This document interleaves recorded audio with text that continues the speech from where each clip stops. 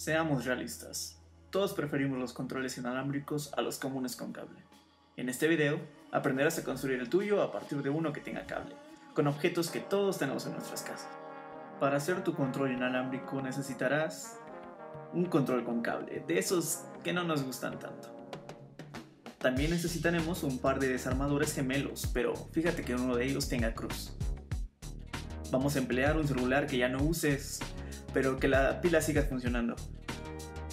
También necesitaremos unos audífonos baratos, de esos que compras en el Oxxo o te dan en el ADO, no tienen que ser unos Apple como los míos.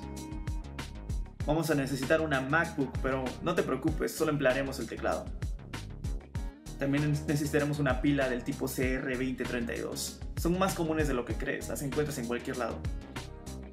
Emplearemos también cinta de doble cara. Es más fácil pegar las cosas con ella. Vamos a necesitar también un encendedor. No tiene que ser de cocina como el que tengo yo, pero es el único que encontré. Aluminio. Necesitaremos un pedazo, no es necesario que le quites todo a tu mamá. Unas tijeras de punta tipo sierra, quitas a tu hermanita o algo así. También vamos a necesitar catsup y una cuchara de 10 gramos. Es muy importante que sea de 10 gramos. Como material adicional necesitaremos bueno, es optativo, pero si puedes encontrar un chucky y, y, una silla de, secretaria ergonómica, esas baratas, solo para entretener las cosas, tú créeme. ya que andamos con los materiales adicionales, como paso opcional para comenzar, pondremos la silla ergonómica de secretaria. Y también al chucky, para hacer las cosas más divertidas, cómo no. Antes que nada, y como sé que a todos ustedes se les dificulta esto de los electrónicos, les recomiendo que se pongan unos lentes de geek. Esto hará que todas las cosas sean más entendibles y más claras a la hora de realizar sus procesos. Ok, vamos a tomar el control y lo vamos a abrir. Para eso necesitaremos el desarmador de cruz. Le quitamos cada uno de los 7 tornillos. Claro, yo ya me adelanté y se los he quitado. Luego lo abrimos con cuidado y lo colocan en la mesa, con todos los botones viendo hacia arriba. Tomen el celular que ya no usen y procedan a abrirlo y a quitarle la pila. Es muy importante que esta sirva. Por ejemplo, este celular era viejo, pero su pila aún se sigue cargando. Ahora tomamos los audífonos baratos, que en mi caso solo contaba con estos de la marca Apple. No importa la marca, pero tienen que ser funcionales. A continuación procedo a quitarles la envoltura, a tirarla a la basura. Chequen este recubrimiento blanco. Con ayuda de las tijeras de tipo punto sierra, empezamos a, cortarlos para que se les pueda quitar más fácilmente. Así crearemos menos resistencia en las ondas magnéticas que harán que nuestro control sea inalámbrico. Para pelar el cable, es más fácil si se rompe el recubrimiento de un lado y se estira para que se vaya cortando solito, siempre y cuando cuidando de no romper los alambres. Deben tener muchísima precaución de no cortar el cable verde por ningún motivo. Eh, en realidad los demás no importan tanto. Una vez que nuestro cable esté pelado, se procede a cortar los auriculares que no son necesarios, solo son necesarios sus cables cruzados. Uno se conectará al control y el otro al celular. Ahora que tienen los materiales principales ya preparados, pueden limpiar la mesa de trabajo de los objetos que ya no usaremos. A continuación tomamos la MacBook y con muchísimo cuidado pondremos la parte de abajo bien hacia arriba. Lo único que haremos es que con el desarmador de cruz le quitaremos los tres tornillos que tiene ahí. No se preocupen, después de un rato será. También encontraremos unos tornillos por otros lados, también por dentro, pero eso lo pueden ver en un tutorial, son muy fáciles de seguir. Me he adelantado y he quitado el teclado como pueden ver.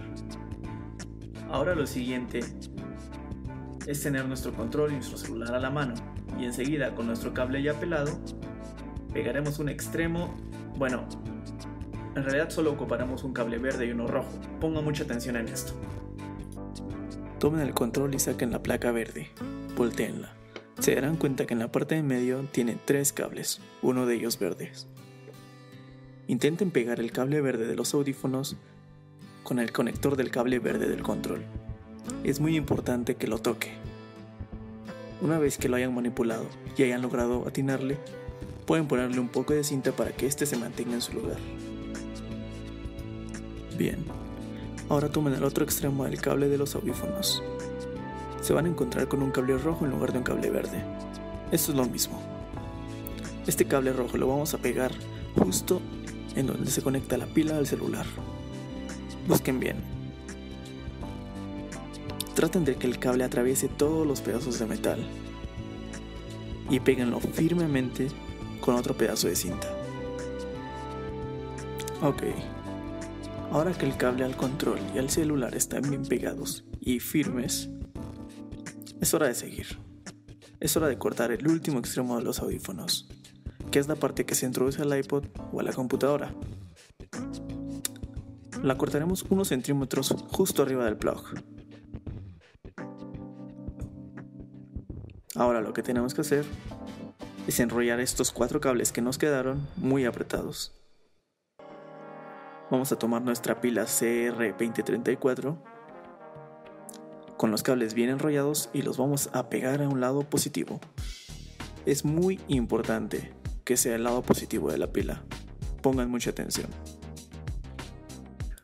Una vez que hayas pegado cada extremo de manera correcta y firme, debería quedarte algo así, la pila, el celular y el control, todos formando un circuito perfecto. Chécalo. Para el siguiente paso, necesitaremos la otra cara de la cinta en la pila. Procederemos a localizar el conector negro del teclado de la computadora y romperemos tantito un seguro que tiene. No te preocupes, no pasa nada.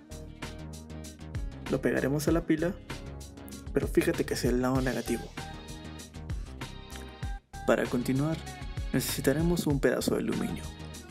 Calcula un tamaño más o menos de largo del teclado, lo suficiente como para envolverlo. Sé muy cuidadoso de que la parte más brillosa del aluminio quede hacia arriba. Comprueba que la pila y el conector del teclado estén bien pegadas y firmes. Ahora tomaremos la catsup. Es muy importante que sea Clemente Jacks, no Hellmans, ni Heinz, ni Hans ni ninguna otra que se te pase por la cabeza, porque solo el clemente contiene en sus ingredientes sulfato de proteínas, lo que nos aumenta la potencia magnética del circuito. Ahora con la catsup en mano, tomaremos nuestra cucharita de 10 gramos. Serviremos un poco de catsup en la cuchara, teniendo muchísimo cuidado de no dejar derramar nada. Procedemos a montar la pila y el conector con la catsup y así crearemos mayor magnetismo como lo habíamos mencionado antes. Para que todo se mantenga en su lugar y sin derramar nada sobre la mesa, tomaremos nuestro trozo de aluminio previamente cortado y envolvemos el teclado y la pila de extremo a extremo.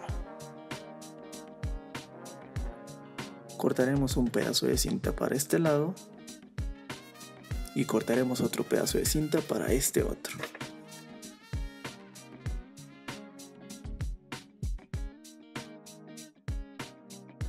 Ahora tenemos el teclado listo junto con el celular y el control.